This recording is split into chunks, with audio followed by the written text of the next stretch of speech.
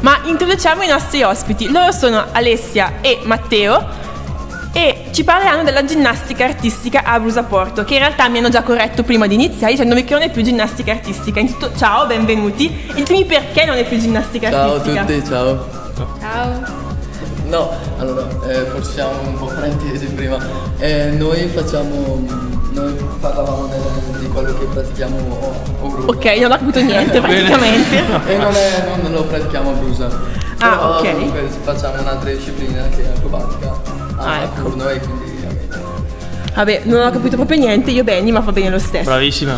Allora, prima di essere insegnanti, diciamo così, siete stati anche voi degli allievi? E se sì, da quanto tempo? Sì, allora io sono stato allievo eh, circa per dieci anni circa. A sempre a Busaporto, ho sempre frequentato la palestra di Busaporto e poi arrivato il superiore ho deciso di, cambiare sport e ho continuato però ad allenare le, le ragazzine e le bambine. E tu Alessia? Io ho iniziato ginnastica artistica a Busaporto in seconda elementare e l'ho praticata per 8 anni e adesso è da 4 anni circa che faccio acrobatica. L'acrobatica è diciamo sarebbe la parte acrobatica della ginnastica artistica, ovvero i salti, cioè quello che si vede in televisione diciamo al corpo libero. Ok, vai Benny.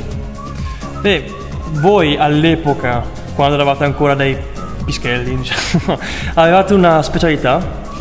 Eh, io sì, principalmente, cioè, durante le gare in realtà facevamo tutti gli attrezzi, però io, diciamo, sì, mi, mi sono poi specializzato nel, nel trampolino sì. Io invece sinceramente non ho mai avuto una specialità, però eh, l'unica volta diciamo, che ho vinto qualcosa è stato, ho vinto una medaglia di bronzo diciamo, alla trave e quindi posso dire che sia quella la mia specialità.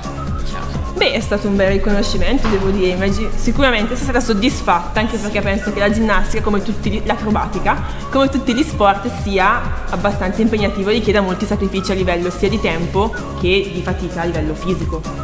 Sì, ehm, al tempo quando mi allenavo eh, facevamo 6 ore a settimana, Sì. non so. Adesso sono passato a farne una settimana, quindi è cambiato totalmente. Diciamo che sei un uomo impegnato adesso, Matteo. Proseguiamo con la nostra che intervista. Allora, domanda forse un po' difficile, speriamo di no.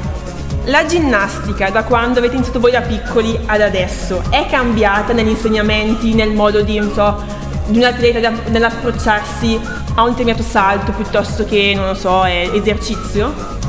Eh, beh, allora la tecnica del- dell'atleta sta tutto nell'insegnamento del- dell'insegnante, cioè del, del maestro. E quindi eh, beh, sicuramente per- nella palestra di Crusoporto sono passati tanti insegnanti, tanti, sì, tanti istruttori con diverse tecniche, con, con un diverso approccio alla ginnastica e quindi sicuramente questo è diverso e completamente soggettivo.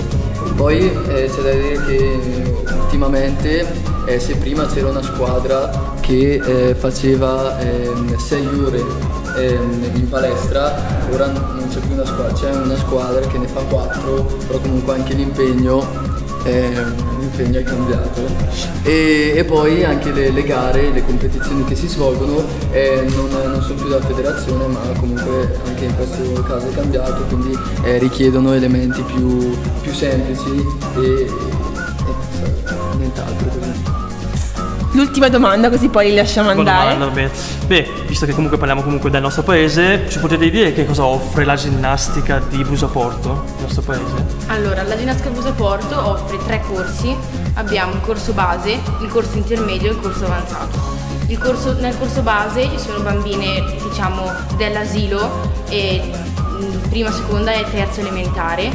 L'anno scorso abbiamo avuto anche una bambina di 4 anni, abbiamo 4-5 anni e ci sono arrivate anche nuove domande di iscrizione di bambini di 6-7 anni, quindi abbastanza piccoli. Nel corso base diciamo che insegniamo appunto gli esercizi base della ginnastica artistica e diamo molta importanza anche alla mobilità, alle spaccate perché sono fondamentali. Poi nel, nel gruppo intermedio abbiamo diciamo ragazzine più grandi, quinta elementare, quarta e quinta elementare principalmente, dove miglioriamo gli esercizi imparati nel corso base e impariamo diciamo quegli esercizi che poi servono diciamo per andare nel, nel gruppo avanzato. Il gruppo avanzato ci sono ragazze un po' più grandi ed è seguito da Matteo e da un'altra allenatrice, mentre io seguo il gruppo base, quello intermedio, Beh, direi che sono stati bravissimi, ci hanno, hanno risposto a tutte le nostre domande, fornendoci anche un sacco di indicazioni e se qualcuno volesse iscriversi alla, alla ginnastica cosa deve fare? Eh, deve recarsi semplicemente in palestra oppure abbiamo la pagina Facebook e, e ci sono lì poi tutti i contatti, quindi potete chiamare semplicemente. Noi li ringraziamo, grazie Alessia, grazie Matteo per essere Grazie a venuti oggi. E prima... Buona serata, naturalmente, Esatto, buona serata, buona, buona cena visto che è orario.